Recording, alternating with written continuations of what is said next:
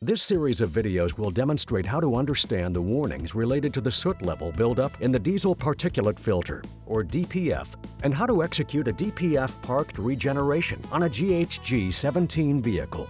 If the diesel particulate filter DPF regeneration lamp is solid or progresses to flashing, operating conditions will allow an active or parked regeneration of the DPF.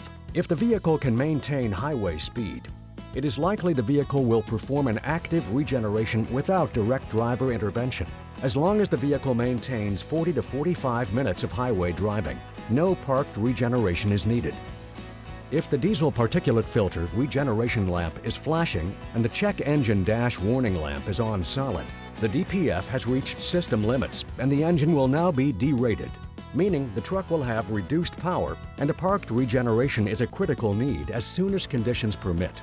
If the diesel particulate filter regeneration lamp is flashing, the check engine dash warning lamp is on solid, and the stop engine dash warning lamp is on solid, the DPF has exceeded system limits, and the engine will now shut down.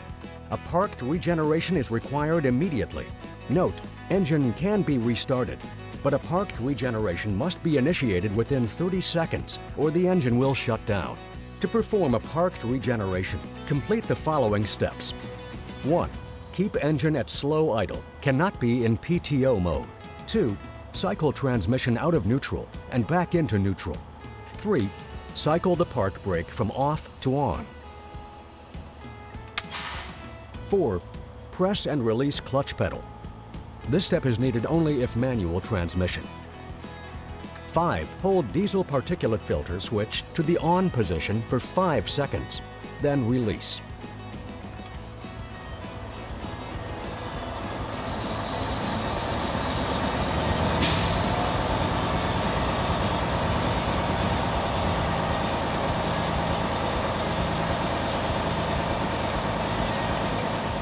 Engine speed will increase and diesel particulate filter lamp will go out if regen is successful.